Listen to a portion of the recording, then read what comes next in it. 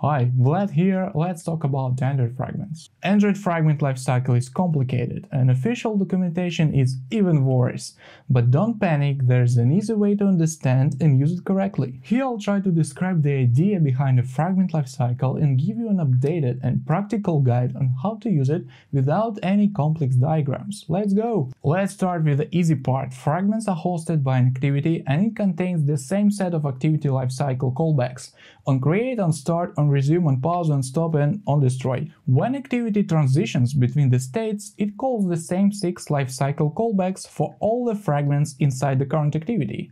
You can check my video about Android Activity Lifecycle to get more information about them. So what's the difference between Fragment Lifecycle and Activity? The main difference is that Activity creates only one view for the entire lifetime, but Fragment views can be recreated and even dynamically changed during the lifetime. Because of this difference, we need to treat the Fragment Lifecycle a little bit differently and we will start with onCreate. This callback is called immediately after onCreating the activity.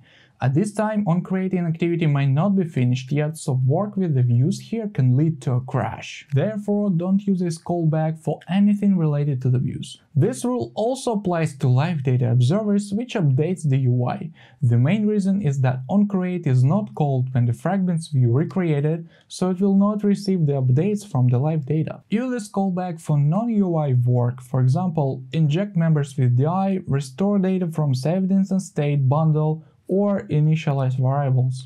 OnCreate view is the place where the fragment should inflate layout from XML. It's called right after the onCreate callback and when the fragment recreated from the activity backstack. At this stage the view is not created yet and that's why there's advice not to work with views directly, like setting click listeners or initialize RecyclerView. Usually I don't even implement this callback, you can provide a layout ID to the fragment constructor and it'll do the job for you. The main goal of fragments in almost all architectures is to represent the view, and that's why on view created callback is heavily used. The view is available and here we can work with it like set listeners, observe live data, initialize RecyclerView and so on. By the way, if you observe the live data which updates the UI, remember to use view lifecycle owner instead of lifecycle owner. Otherwise they will be not removed at the view destroy and you will have a bug with duplicated observers. And that's it.